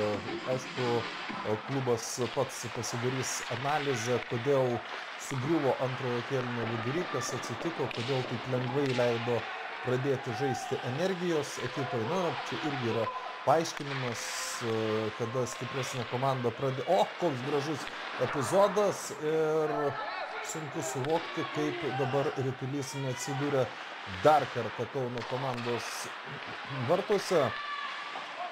Čia šansas iš tikrųjų buvo labai labai geras ir galimybė e, dar labiau padidinti persvarą, kuri galbūt būtų jau lemiama įvertinus, kiek nedaug laiko yra likę žaisti iki šių rungtynių, trijų įvarčių persvara šio, šioje e, dvikovos stadijoje tikrai būtų labai labai daug. Tiems, kas ne nuo pradžių stebi šią transliaciją, aš priminsiu, kad trijų įvarčių persvarą turėjo, tačiau ne energija, o Baltų Ainių ekipa į pirmavo rezultatu 4-1. Tačiau tuomet praleido praleido penkis įvarčius iš eilės ir e, rezultatas tapo 6-4 jau energijos geležinio vilko naudai.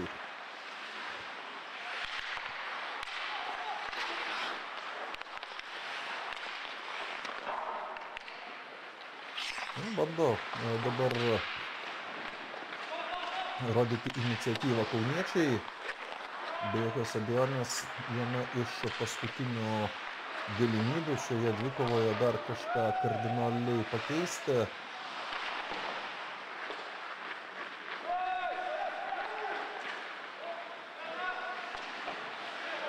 Bet aišku, kad būtent dabar jau reikia imtis, reikia imtis tos iniciatyvos.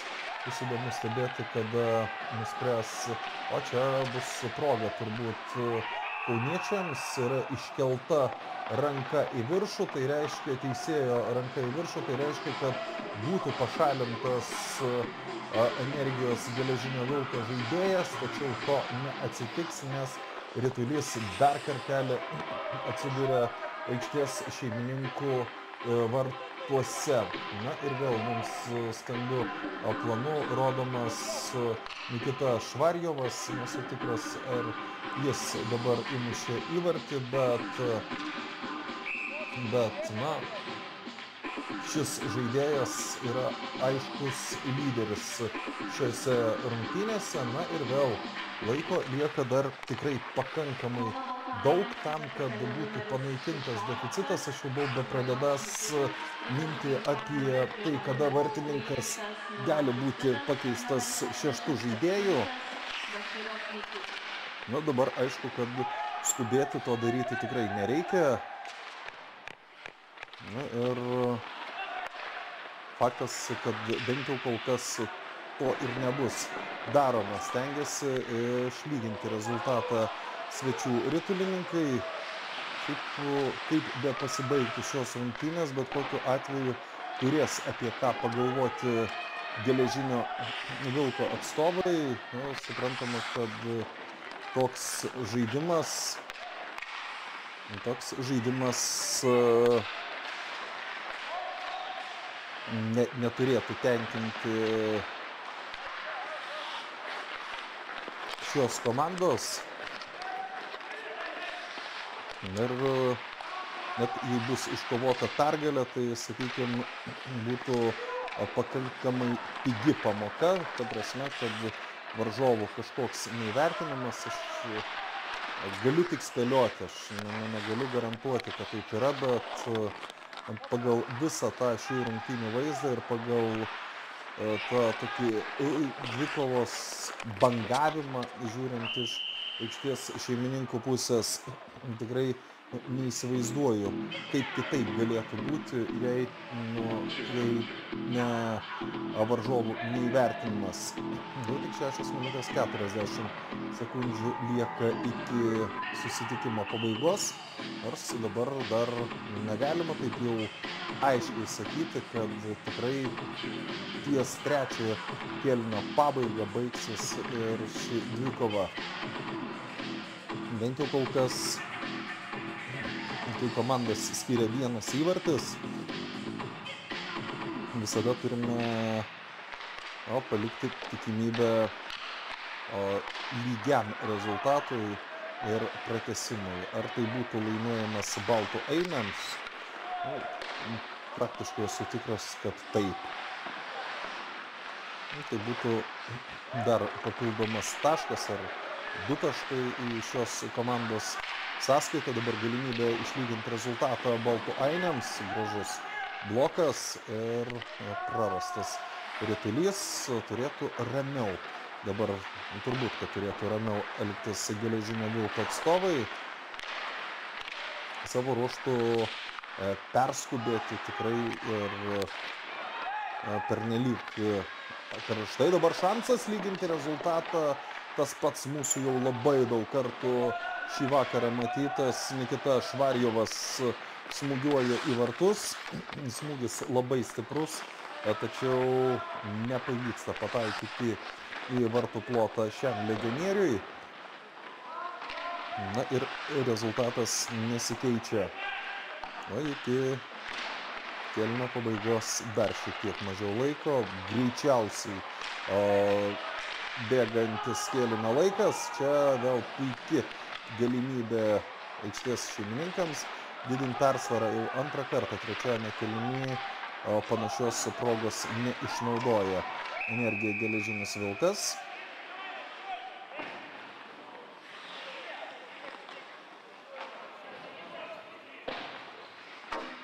Na, čia jūsų ekranas, jeigu taip atsitiktų, kad svečiai laimėtų, geriausias šių rungtynių ritulininkas. Galiu dar kartą perbėgti per trečiojo kelinio įvarčius. Trečiajame kelinyje taip, Nikita Švarjevas įmušė, po to Timonas Mažulis ir vėl Nikita Švarjevas. Švarjevas šiandien yra pelnęs tris įvarčius. Taip, dar pasitikslinau, tikrai tris įvarčius yra pelnęs Nikita. Ir su tokiu žaidimu neabejotinai pasikartosiu, bet neabejotinai tai būtų o, pats geriausias dvikovo žaidėjas su ta sąlyga, kad komanda iškovos pergalę. Jeigu nepavyks laimėti, kas čia dabar vaizdo peržiūra, būtų įdomu sužinoti, ką tokio norėtų nuspręsti teisėjai. Galbūt bandoma įsiaiškinti, kurį rytulininką teks šalinti iš aikštės dviem minutėm ir tai reiškia, kad Baltų Ainių ekipa turėtų turėti kokybinę persvarą dvi artimiausias minutės. Jeigu viską teisingai suprantu, Donatas Kumeliauskas praleis dvi minutės ant, ant baudos suolelio. Aš galiu, galiu ir laisvai klysti. Dar minutės pertraukėlė, kuri aišku reikalingesnė yra kauniečiams. Reikia apsitarti, kaip žaisti tas penkias minutės. Tačiau mūsų ekranuose aikštės šeimininkų komanda, kuri prastai pradėjo rungtynes, praleido pirmą įvartį, po to išlygino rezultatą, tada vėl praleido, antrajame kelyje dar du kart praleido, rezultatas tapo 4-1 baltų einių naudai, na, o tada savo šau pradėjo ir energija geležinis vilkas, vienas po kito įvarčiai, 27 minutę rezultatas tapo 2-4, tuomet pasižymėjo Edgaras Rybakovas po dviejų minučių Dmitrijus Rapčiukas 3-4, dar po 20 sekundžių 4-4. Tai va, per 3 minutės sugebėjo 3 įvarčius pelnyti aikštės šeimininkai, tada 34 minutė 34 minutė Timonas Mažulis 5-4 ir Dmitrijus Rapčiukas 36 minutę 6-4 per 8 minutės 48 sekundės. Jeigu taip jau visiškai tiksliai kalbant, kas įvyko antrajame kelynyje, tai per 8.48 penkis įvarčius pelnė aikštės šeimininkai ir nuo situacijos minus 3 sugebėjo pereiti prie plus 2. Labai sėkmingai šiose rungtynėse varžovų kiekybinę persvarą išnaudoja aikštės šeimininkai, tiesą sakant, ir kauniečiai vieną kartą būdami daugumoje sugebėjo įmušti įvartį ir dabar pabandys padaryti tą darsi. Pati pradžia to pati pradžia turint kiekybinį pranašumą labai labai prasta, pusę minutės prabėgo, net nepriartėjus prie varžovų vartų, tai yra aišku labai didelis laimėjimas. Ir vertinkim tai, kad iki trečiojo kėlinio pabaigos jau lieka tik keturios minutės, keturios su pusė minutės, tai išnaudoti tą kiekybinę persvarą gali būti, nieks nežino, gali būti paskutinis šansas. Viena minutė jau praktiškai praeitį yra to kiekybinio deficito, dabar šansas yra kauniečiams. O, pirmasis priartėjimas prie Vilniaus komandos vartų, turiu omeny tą paskutinę minutę, kai daugumoje žaidžia įvartis, taip įvartis, likus 44 sekundėm iki, o, iki uh, baudos pabaigos uh, Baltų Ainių ekipa lygina rezultatą 7-7 šiuose neįtikėtinai rezultatyviose rungtynėse priekyje uh, rezultatyviose ir labai permainingose rungtynėse dar kartelį čia kelia į viršų ranką paskutiniojo jau 14 šio vakaro e, įvarčio autorius Erminas Gutauskas. Tai, kas, sakykime, rungtynių pradžioje atrodė neįtikėtina, tai, kas atrodė antro kėlinio pabaigoje, kai rezultatas tapo 6-4 ir energija žaidė 5 prieš 3, net du kartus energijos komanda turėdama dviejų žaidėjų persvarą nesugebėjo pasižymėti ir dėl to gali kaltinti pati save. Trečiajame kelinyje 3-1 priekyje yra Baltų komanda, tai pirmąjį kėlinį Baltai laimėjo 2-1, antrąjį pralaimėjo 1 tai 2, atsiprašau, pirmąjį laimėjo 2-1, antrąjį pralaimėjo 2-5, trečiajame pirmavo 3-1. Labai labai rezultatyviuose rungtynėse, kol kas 7-7, šansas vėl aikštės šeimininkams nepavyksta mušti įvarčio, dabar nu, matysim, ar tikrai bandys kuo greičiau ieškoti savo galimybės energiją geležinis vilkas. Nu, Jeigu taip, tai vėl tik parodys, kad šiandien ne viską padarė taip, kaip reikėtų. Ši komanda čia geras perdavimas į priekį, vėl pakankamai rimtas pavojus prie Baltų komandos vartų, bet įvarčio pelnyti nepavyksta. Na taip, dabar kaip reikiant sukruto aikštės šeimininkai. Klausimas, kodėl jie to nebuvo padarę didžiąją rungtynių dalį. Na ir tokiais atvejais kalta yra pati komanda, čia šansas kauniečiams dar kartelį. Na ir tikrai nedaug trūko, kad prie viso to, ką jau padarė blogo varžovams kauniečiai, būtų, būtų įmušę dar vieną įvartį ir įsiveržę dabar į priekį. Na, Koks energijos atsakymas?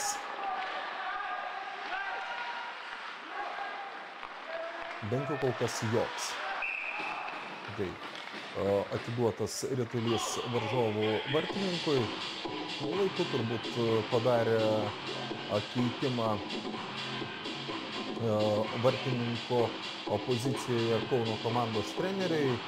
Nes paskutiniu metu Lukui Jakšiui nesisekė, o Kristupas Pranskietis pasirodęs vartuose yra praleidęs viso labo vieną įvartį. Vėlgi negali sakyti, kad be proto daug jau darbo turėjo šis vartų sargas, bet išskyrus vieną atvejį su tuo darbu susitvarkė neblogai. Gal net ir gerai. Vėl Kauno komandos ataka. Atrodo pasiruošusi griebti jauti už, už ragų Kauno Balto Ainų komanda.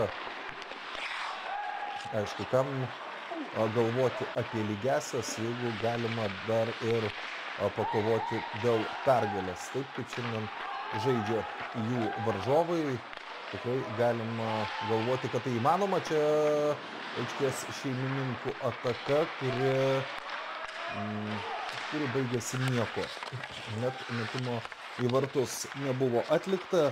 1 minutė 25 sekundės iki trečiojo kėlinio pabaigos. Dabar aišku, kad jeigu kažkuri komanda spės pasižymėti, labai labai realu, kad tas įvartis bus pergalingas. Tiesiog per mažai laiko yra likę iki kėlinio pabaigos. Jeigu taip jau atsitiks, kad nei viena komanda nepasižymės, mūsų lauks pratesimas, dar papildomas laikas šiuose rungtynėse tam, kad įsiaiškintumėm, kuri vis tik yra vertesnė. Pergalės. Na, ir kuri kuri šiandien yra geresnė. Na, čia dar kažką spręs teisėjai. Nepastebėjau situacijos. Jeigu tai yra kalba apie pašalinimą, tai būtų labai labai rimtas dalykas bet kuriai komandai. Ar tai yra tiesiog minutės pertraukėlė,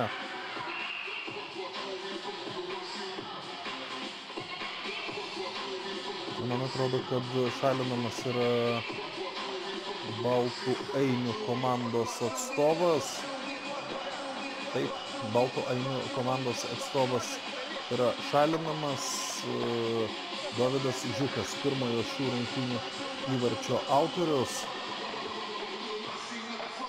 Na, negaliu, tikrai negaliu pasakyti, ką neleisino padarė jis. Paprasčiausiai nepastebėjau šios situacijos, kad baltų ainių e, pati, pati rungtynių pabaiga tikrai bus labai labai sudėtinga. Tuomet, kai nebegali praleidinėti įvarčių, tu turėsi žaisti mažumoje. Dar kartelį priminsiu, kad net tris kartus šio vakaro rungtynėse sugebėjo pasižymėti energiją geležinis vilkas, tuomet, kai turėjo žaidėjų, daugiau žaidėjų aikštėje.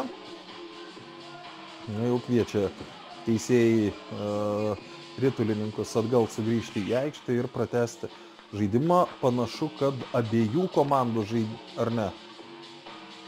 Nu, pažiūrėkim, koks dabar bus sprendimas.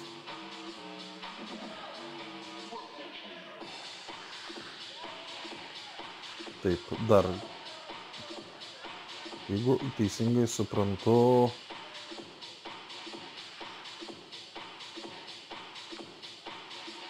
kol kas nelabai suprantu, abiejų komandų žaidėjai yra ant nubaustųjų suolelio. Kažkas rimtesnio įvyko, ko galbūt arba aš praleidau, arba tiesiog mes nepamatėme. Žiūkas ir Nemanis, taip, du baltų žaidėjai ant nubaustųjų suolo. Nuo energijos geležinio vilko vien penki 5 prieš 4. Taip, tokia situacija. Vienos komandos du žaidėjai yra pašalinti, kitos komandos vienas. Ir 65 sekundės vėl papildoma pauzė besibaigiančiai dvikovai. Nu, gal dar ne dvikovai, gal dar tik kėliniui. Tuoj pamatysime, ar ties trečiuoju kėliniu užsibaigs šios rungtynės. Laiko tikrai labai nedaug tam, kad būtų nu, iškovota pergalė. E, šiuo atveju turbūt, kad reiktų kalbėti apie aikštės šeimininkus, vis tik turint žaidėjo pranašumą, susitikimo pabaigoje tai yra milžiniškas, nu, milžiniškas šansas pasiekti tą pergalę. Iš kitos pusės laiko lieka labai labai mažai, tik 30 sekundžių. Kol kas nei vieno smūgio neatlikta, nei vieno metimo neatlikta į vartus. Nu, kada yra taip, tai vėl yra pakankamai problematiška. 15 sekundžių iki trečiojo kėlinio pabaigos apsigina kauniečiai ir dabar jau 99 procentų tikimybė, kad mūsų laukia pratesimas 5 sekundės, 4 bus dar metimas, nu labai prastas metimas, viskas 3-3, po 7-7, atsiprašau, po trijų kelinių mūsų laukia dar pratesimas.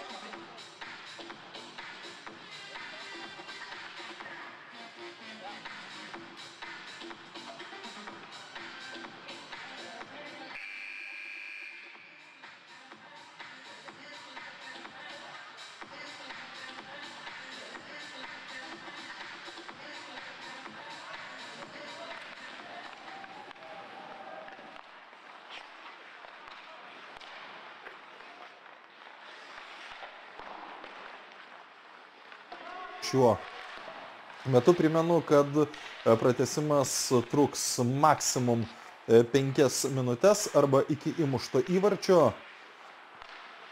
Jeigu pavyktų pasižymėti ties tuo rungtynės būtų e, baigtos. Na, čia dabar šansas tą padaryti aikštės šeimininkams.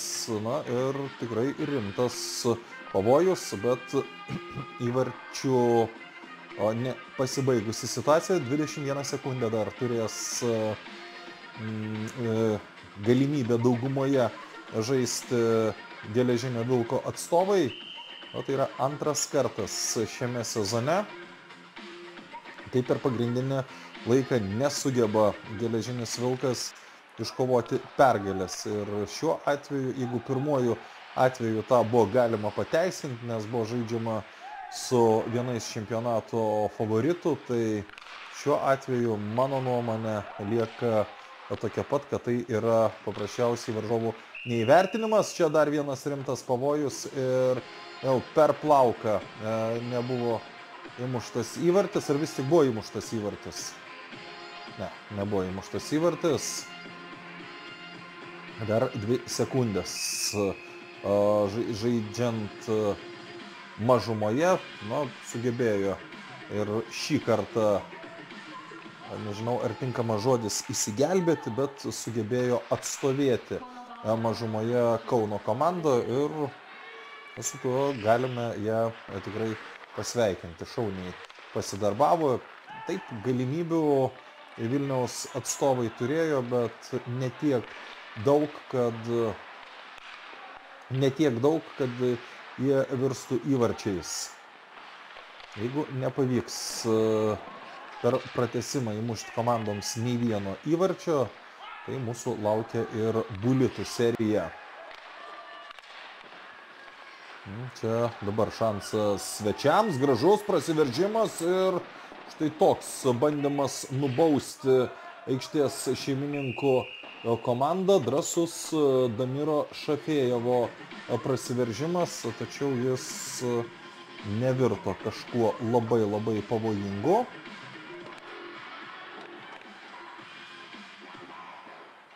Na, čia dar kartelį ši situacija.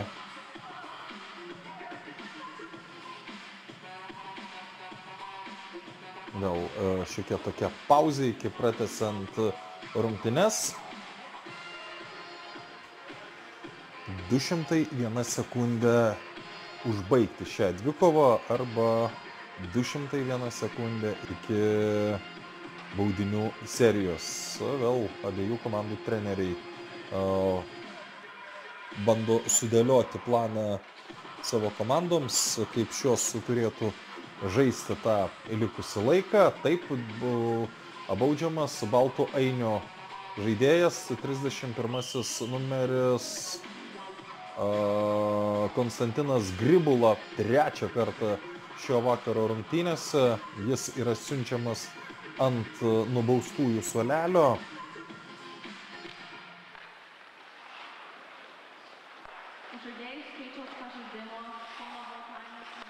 Na ir vėl šansas energijai geležiniai vilkui.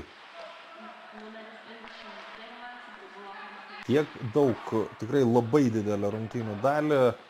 Šiaip, aš dabar taip greit nesuskaičiuosiu, bet manyčiau, kad apie trečdalį visų rungtynių daugumoje žaidė šį vakarą energijos atstovai.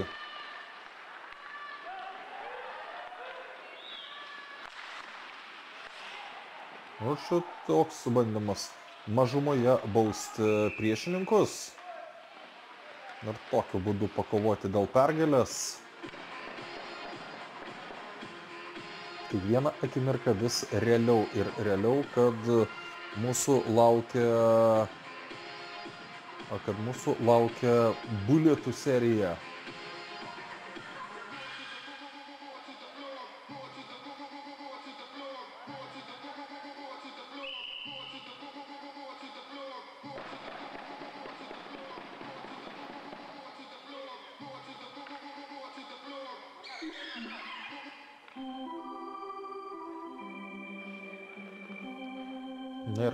Susidariusi pauzė.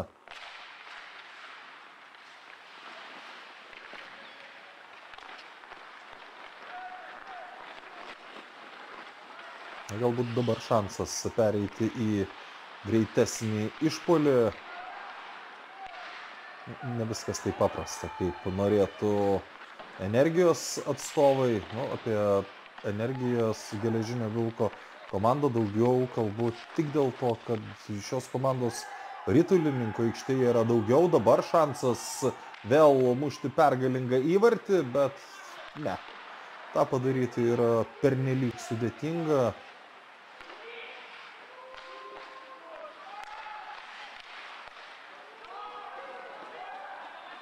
Na ir čia vėl, aišku, o pagiriamieji žodžiai Kauno komandai, kuri dar kartelį nu, labai realu, kad na, nebent dabar gali viskas pasikeisti, pavojingas smūgis rytulys vartose neatsiduria. Dar kartelį galime pagirti e, Kauno komandą už tai, kad ji žaisdama mažumoje sugeba atsilaikyti nuo varžovų ir tiesą sakant, net rimto pavojaus pernelyg daug rimto pavojaus nebuvo sukurta prie